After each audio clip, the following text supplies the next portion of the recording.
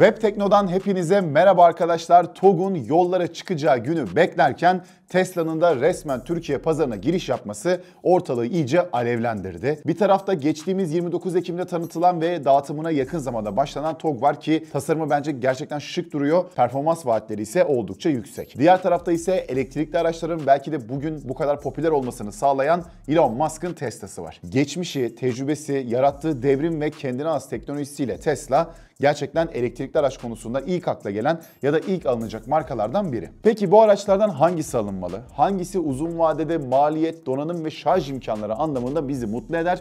Ve tabii ki bu araçların fiyatı ne kadar? Gelin bu iki araca biraz daha yakından bakalım.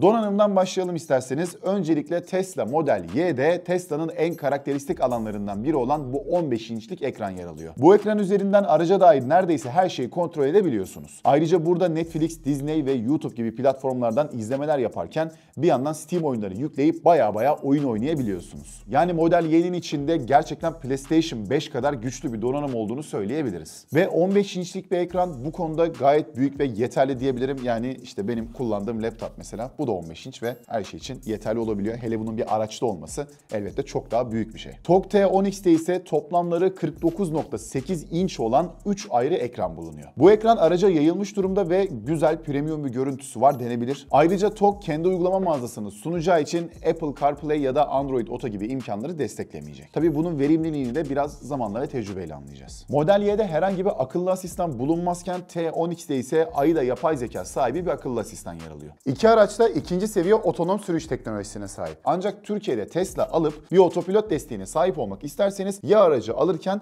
ya da aldıktan sonra ek bir ödeme yapmanız gerekiyor. Geliştirilmiş otopilot paketi 66.370 lira. Arabanın tamamen kendi kendine gitmesini sağlayan Full Self Driving kabiliyeti paketi ise 131.580 lira. Bu bahsettiğim fiyat hem model Y'ler hem de gelecekte satılacak bütün Tesla'lar için aynı.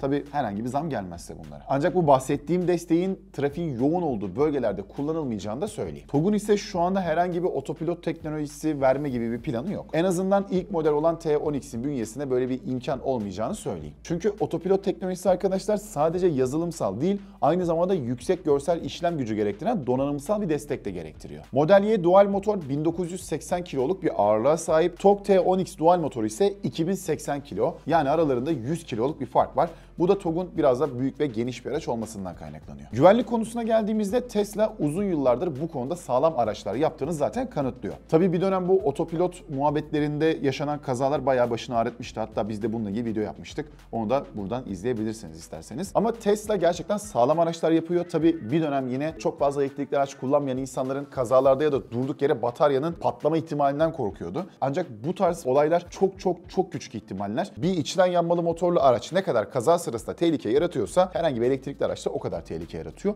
Bu konuda bir endişeye gerek yok aslında. Ama batarya konusunda Tesla'nın kendi bataryalarını ürettiğini söyleyelim. TOG ise bir girişim olduğu için Çin'in en büyük enerji şirketlerinden Faras Enerji ile yapılan bir anlaşma sonucunda Siro adında bir batarya şirketi kuruyor. Hatta bu şirketin ilk fabrikası da Gebze'de ve bataryayı da bu Siro şirketinde üretiyorlar. Yine de Tesla Euro NCAP gibi testlerden 5 yıldız alabilen araçlar üretiyor. Bu arada bu testler arkadaşlar yapılması zorunlu testler değil. Yani isterlerse markalar araçlarını bu teste sokabiliyorlar ve gelen sonuçlarda tabii ki araca bir güvenilirlik katıyor. TOG henüz bir Euro NCAP testine girmedi ancak CEO Gürkan Karakaş aracın bu teste gireceğini ve 5 yıldız alabilecek yeterliliğe sahip olduğunu söyledi. Tabii bunların sonuçlarını biraz daha zamanla göreceğiz. Servis konusunda ise Türkiye'de 180 ayrı servis noktası bulunan Bosch Car Servis TOG'un yetkili servisi olacak. Ancak Tesla henüz bir servis politikası ya da yetkili servis noktası açıklaması yapmadı.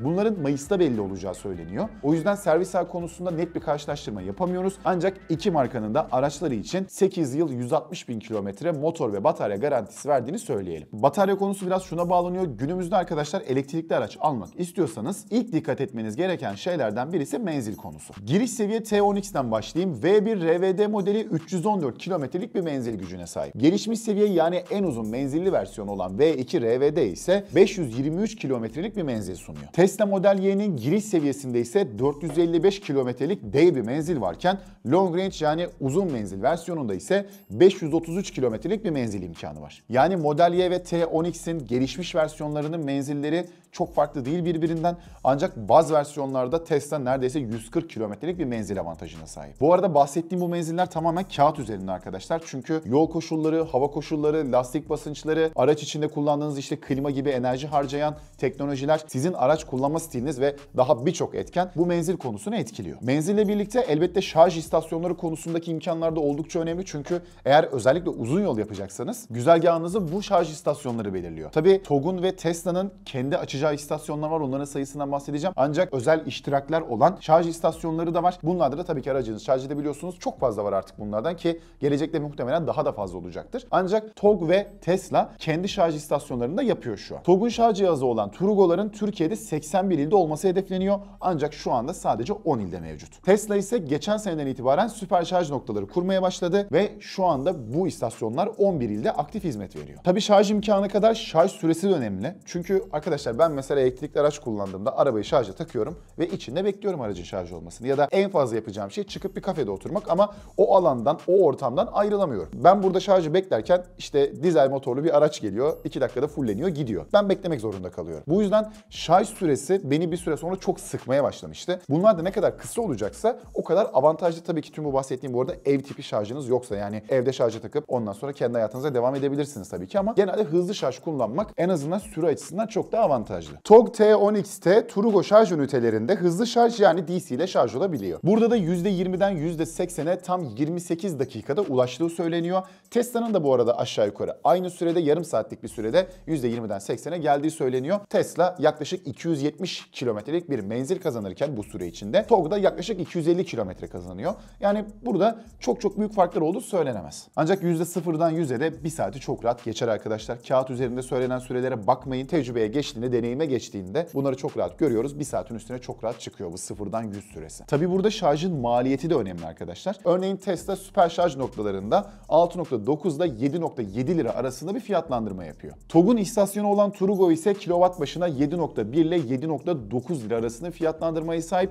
Yani aralarındaki bu ikişer kuruşluk fark uzun vadede bile çok hayati bir fark olmayacaktır. Gelelim güç konusuna arkadaşlar. Tesla Model Y'nin giriş versiyonu yaklaşık 204 beygirlik bir güç üretiyor. TOG T10X'in giriş versiyonu ise yaklaşık 218 beygirlik bir güce sahip. 0-100 hızlarına baktığımızda arkadaşlar Model Y 6.9 saniyede sıfırdan 100'e ulaşabiliyor kağıt üzerinde. TOG ise aynı hızda 7.4 saniyede çıkıyor. Yani ivmelenme konusunda Tesla'yı bir tık daha öne koyabilirken genel motor gücü konusunda da TOG önde. Şimdi gelelim bu ürünlerin fiyatına arkadaşlar. TOG T10X V1 yani giriş versiyonunun baz donanımı şu anda 953 bin lira. V2 standart menzilli üst paket ise 1 milyon 55 bin lira ve en gelişmiş versiyon olan V2 uzun menzilli üst paket ise 1 milyon 215 bin liradan kendini alıcı buluyor. Ayrıca ek paralar ödeyerek cam tavan ya da işte Meridian ses sistemi gibi imkanlar da alabiliyorsunuz. Tesla Model Y'nin baz versiyonu ise 1 milyon 548 bin 732 lira. Bayağı küsürüne kadar belli yani. Uzun menzilli versiyonu 1 milyon 619 bin 532 lirayken performans adı verilen sportif versiyonu ise 1 milyon 778 bin 832 liradan satılacak. Yani tüm versiyonları yan yana koyduğumuzda arkadaşlar aralarında net bir 500'er bin liralık fark görebiliyoruz.